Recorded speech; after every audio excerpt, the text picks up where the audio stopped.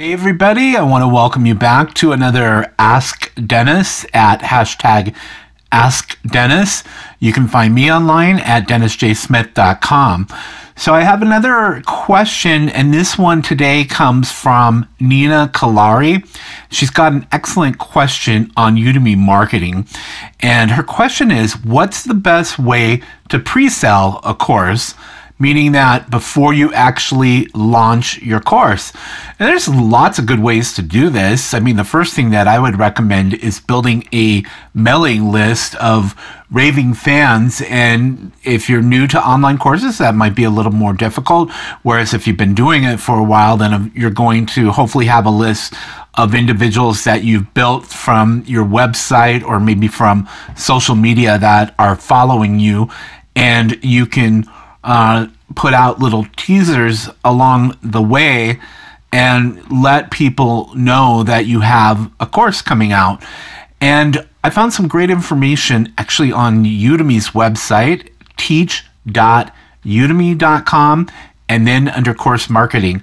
I'm going to post a link to that information because there's actually a an article that they linked to somebody who made I think it said something like ten thousand uh, dollars when they launched their course because they had already been letting their followers and previous students know that they were working on a course. They were even saying that many instructors start 60 days prior to releasing a course, letting people know that, hey, I'm going to be releasing a course on ConvertKit, or I'm going to be releasing a course on WordPress, or one of the many topics that are out there on Udemy and Skillshare. And you, and you can use these same tactics for Skillshare. The cool thing about Skillshare, though, is they actually let your students know when you have released a course. Now, you can do that with Udemy with a promo announcement, but you only have two of those each month. And I kind of wish that Udemy had the same concept as YouTube, where with YouTube, when you find a channel that you like, you can follow that channel by subscribing to that channel. I wish that Udemy had the option for your students could subscribe to you as an instructor. And that way, when you release a new course, you could determine like how they would get an, an, an, excuse me, an announcement from you and let them know that you've got a new course coming out and you might be able to tweak it so that you can offer a, a, certain discount or whatever for those students. So that's what you could do like too if you're building a mailing list, let them know that hey, I'm going to give you 50% off because you're signing up to let me tell you when the course is available and share other information with you. So when my new course comes out in 60 days or 30 days or whatever, you're going to know first. So that's some ways that you can do that. And of course, on social media, you can do that. Uh, build a following with a fan page or maybe the topic or something that you're teaching to.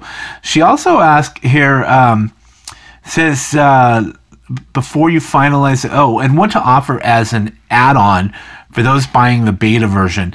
Nina, I'm not too sure what you mean by that. I'm thinking that maybe you're saying that the first version of the course is the beta version, and then uh, adding on as you go. I mean, you can always add new lectures after the course comes out, but maybe do something like I'm doing where you offer students the opportunity to ask you a question about the course topic and you can record something like this and then come back to Udemy or Skillshare and post a link to YouTube. Now you can do that if you do something else, you want to make sure that you let Udemy's trust and safety team know uh, because you can't collect personal information. I had sent them a message. I was thinking about doing something like this and having people email me their questions. Well, I wasn't having that in mind to collect their email addresses. I just wanted them to send me their questions. But Udemy said, no, you can't do that because you're asking for personal information. But you can certainly do that inside your course because you're not getting personal information. You're just saying, hey, if you have a question about the topic or one of the topics in the course, feel free to ask, and I'll be more than happy to do uh, a video and reply with an answer. Or you can even do something like I'm pointing over here at my MacBook. You can record a screen share and show them specifically on your computer, like the steps on how to do something. So, those are a few ways to, to do that. Uh, let's see. Uh, I don't see, like taking a look at my notes here from Nina. I don't see any specific like um, website. I wanted to like give her a shout out, and I will ask her after I uh, record the video and put it in the uh, notes on YouTube, and then when I share this out to the Facebook group. But I'm sure you can put in uh, Nina Kolari, and that's K O L A R I to find her on Udemy or maybe find her online through Google. If not, I'll get that information from her and I will post it below the video in YouTube.